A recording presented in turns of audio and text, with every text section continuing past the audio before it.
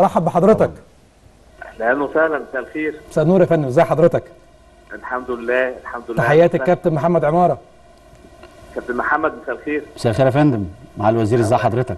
الله يخليك أهلا وسهلا. طبعا يا فندم بنبارك لحضرتك فوز نادي الزمالك نادي مصري حقق لقب كبير جدا وإنجازات في عهد حضرتك وبالتالي حضرتك أول يعني أول الحاضرين في مطار القاهرة لاستقبال بعثة نادي الزمالك أكيد حضرتك وأكيد سيادة الرئيس طبعا الداعم الأكبر للرياضة المصرية. أكيد شعور مهم جدا يا فندم وب- وببارك لحضرتك مرة تانية. وأكيد بقى يعني دي خطوة مهمة جدا في خطوات كتيرة للرياضة المصرية بشكل عام في عهد سيادتك. الحمد لله طبعا إحنا يعني أي لاعب ومصري منتخب آه، مصري وكل المنتخبات اللي بترفع آه، يعني اسم بلدها وعلم بلدها من خلال الرياضة أكيد لازم معنويا نكون جنبها. عشان كده يمكن إحنا بنبارك لكل آه، يعني فريق ومجلس إدارة نادي الزمالك آه، بفوزه بكاس السوبر آه، آه، ودي حاجة يعني يعني عظيمة لمصر. وإن شاء الله نبارك لبقيه الفرق المصرية كلها اللي مشارك في البطولات الأفريقية. وفعلا النهارده كان المعتاد إحنا يعني في مقابلتنا لل- للفرق والنجاحات الكبيرة. آه، يعني برضو قابلناهم النهارده ونتمنى لهم التوفيق دايما ونتمنى لكل الفرق المصرية آه، في الحقيقة في المهام بتاعتها كلها. آه، ومنتخباتنا التوفيق الدائم إن شاء الله. مباراة السوبر يا فندم اللي هتكون يوم الخميس اللي جاي حضرتك طبعا مباراة مهمة جدا هتكون خارج مصر لكن طبعا دولة الإمارات وإمارة أبو ظبي دايما داعمين وبيرحبوا بكل المصريين اللي هيكونوا موجودين حدث مهم جدا أكيد حضرتك هتكون موجود فيه لكن حضرتك شايف المباراة شايف الأحداث شايف الأجواء هتكون عاملة إزاي بص اولا آه، يعني الكرة المصرية خروجها لبره آه، ده شيء مهم جدا لأن تمام. الكرة المصرية آه، ونرجع تاني آه، يعني الأهلي والزمالك ومكانتهم الكبيرة اللي كانت دايما موجودة في الخليج وأيضا في مصر آه، شيء مهم جدا لأن أنت عارف مع الفضائيات اللي بقت موجودة بشكل كبير جدا أصبح يعني ديربي ال- ريال مدريد وبرشلونة والديربيات ال- الأخرى بقت بشكل كبير جدا يمكن قللت شوية تسويق أو ما- ال- ال- ال market أو سوق الكرة المصرية.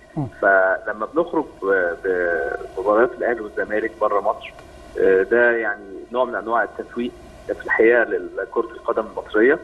آه، بنشكر طبعا آه، يعني دولة الإمارات على تقدمها واستضافتها إحنا عملنا بروتوكول تعاون مع مجلس أبو ظبي الرياضي وكان من البنود انه ممكن يكون في مباراة سوبر مع طبعا موافقة الاتحاد والأطراف اللي موجودة. أكيد إن شاء الله الفريقين. هيكونوا آه، يعني على قدر مستوى تمثيل الكرة المصرية بره مصر. آه، ال- الجالية المصرية موجودة هناك بشكل كبير جدا بتفرح جدا وتتباهى بوجود الفرق المصرية آه، وفريق يعني فريقي الأهلي والزمالك قطبي الكرة المصرية. وده كمان بيخليها كده يعني مدعومة بفرقها وهي بتشتغل بره مصر. صح فإن شاء الله نتمنى التوفيق ونتمنى المباراة تكون بنفس القدر اللي نتمناه يعني إن شاء الله. حقيقة يا فندم غلق استاد القاهرة بسبب بعض الإصلاحات وفي نفس الوقت النادي الأهلي بيحاول من ناحية تانية طبعا بمعرفة حضرتك والتواصل مع حضرتك على الصوت الصوت مش واضح شوية يا تمام يا فندم. بقول لحضرتك حقيقة غلق استاد القاهرة بسبب بعض الإصلاحات اللي في نفس الوقت الأهلي أو النادي الأهلي بيحاول فيه مع سيادتك. طبعا إن مباراة سان داونز الأفريقية تكون على استاد القاهرة. هل حضرتك في توصل للأمر ولا فعلا الملعب أو استاد القاهرة يعني غير قابل لاستضافة أي ماتشات في الوقت الحالي؟ لا هو المو... الملف ده بيبقى اتحاد الكورة والنادي والأجهزة المعنية اللي بيقولوا إحنا ما عندناش مشكلة يعني اللي بيقولوا خلاص يعني مم. ده بيبقى يبقى جزء يعني تشغيلي أكتر ما هو يعني موضوع الاستاد أو مم. أنا بتكلم يا فندم إن الأهلي قال إن هو إن هو طبعا حصل كلام ما بين النادي الأهلي وبين حضرتك وبالتالي كان ممكن يكون في بعض المحاولات إحنا أكيد أكيد مم. أكيد بندعم وبنساعد بس طبعاً يا فندم. بيكون فيها آه بيكون فيها يعني رؤية وفق الاجتماع تعب بيكون في بري ماتش أو اجتماع قبل المباراة اجتماع أمني والأطراف اللي موجودة آه، بتتفق على شيء. إحنا أكيد بندعم يعني إن يكون أفضل حاجة المباراة وهنشوف إن شاء الله يعني. هل يا فندم. شكرا يا عمر. شكرا يا عمر. طيب فندم شكرا جزيلا يا فندم. معالي الوزير الدكتور أشرف صبحي بشكره شكرا جزيلا على وجوده معنا. يعني راجل محترم جدا وفي عهده طبعاً. بيحصل الكثير والكثير من الإنجازات يا كابتن عمار. يعني أرجع تاني لكلام